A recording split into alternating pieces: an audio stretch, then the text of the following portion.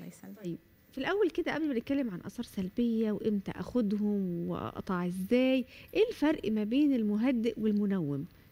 تمام بسم الله الرحمن الرحيم. المهدئ هو منوم. هلأ آه، مضادات الاكتئاب خلينا نفرق شوي هي مختلفة. بس المهدئات أو عائلة المهدئات هي منومات. في هلأ جديد أدوية طلعت هي منومات ما آه، مهدئات ما ممكن ما تسبب النعاس لكن بشكل عام المهدئات هي المنومات. هي أدوية بتثبط المستقبلات العصبية يعني بتلعب على الدماغ على المر... الجهاز العصبي وبتثبط هي المستقبلات الحسية فبتهدي ترخي بتنيم. مم. طيب. فبتهدي وبترخي وبتنيم. أنا تعودت عليها. ما بقيتش اعرف انام لسان حال ناس كتير تقولك ما بعرفش انام ولا يغمض لي جفن إلا لا بالمهدئ أو بالمنوم. قولي لي إيه الآثار السلبية للمهدئات والمنومات ومن قبلها؟ إيه اللي يخليني ما أعرفش أنام أصلا إلا بيهم؟ تمام. هلأ طبعا من ضغوطات الحياة ومن هلأ اللي عم يصير كلياته شيء. طبيعي إنه الإنسان ينضغط يتوتر آه، وبالتالي بيصير عنده أرق. هلا هي المهدئات خلينا بس نأكد على نقطة إنه هي ما بتنصرف إلا بوصف الطبيب يعني لازم الدكتور أو الطبيب المختص.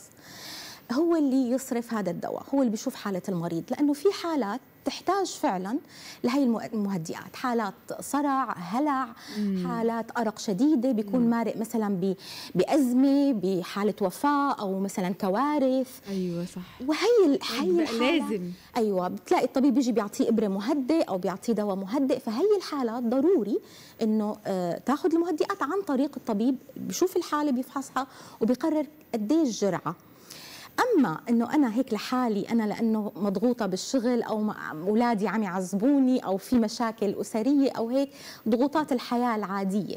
روح وقرر إنه حدا مثلا من أصدقاء إنه خدي هي الحبة المهدئ هون تكمن الخطورة وهذا غلط كتير كبير.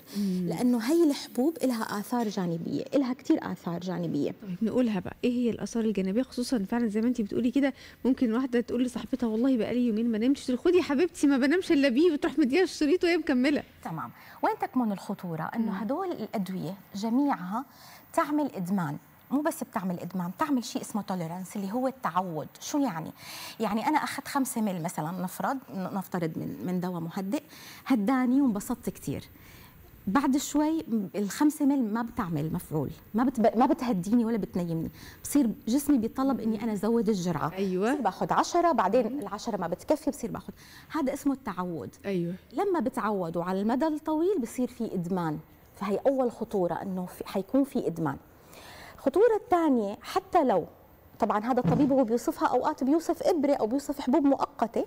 لأنه الأدوية المهدئة في منها سريعة المفعول ووقت آه محدد يعني مو طويلة. وفي. منها مفعولة ممتد. فهون الطبيب هو بيقرر شو الحالة اللي اللي يعطيها. لكن حتى لو مفعولها سريع و- وقصيرة ال- المدى. حتى هي ما لازم استهين بأخذ هي الحبة. ليه؟ لأنه لها آثار جانبية. ما في دواء ما له آثار جانبية. مو إحنا قلنا هو بيثبط مراكز الحس. مم. ممكن حتى لو حبة أو حبتين تعمل لي اختلال بالتوازن.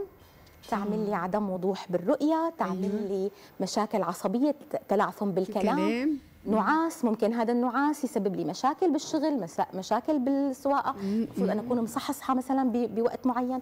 فحتى لو مدى قصير ولو حبة ممكن يكون واحدة أول من أول حبة تلاقي الآثار دي. نعم. من أول حبة بتظهر علي بالظبط. آه. فإذا ما كانت الحالة فعلا فيها تشنج وأرق وحالة تستدعي إني أهدى بهي الفترة على مدى يومين أو أسبوع وأخذتها بس لمجرد توتر أو ضغوط حتظهر علي الآثار. بالعكس حتكون آثار سيئة. بتظهر